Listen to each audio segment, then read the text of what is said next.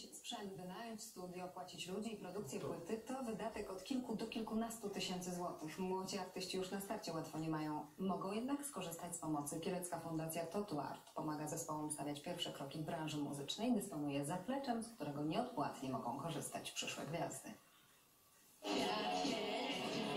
Fundacja Totuart zapewnia początkującym muzykom salę prób, sprzęt i studio nagrań. Mogą ćwiczyć 365 dni w roku o każdej porze dnia i nocy.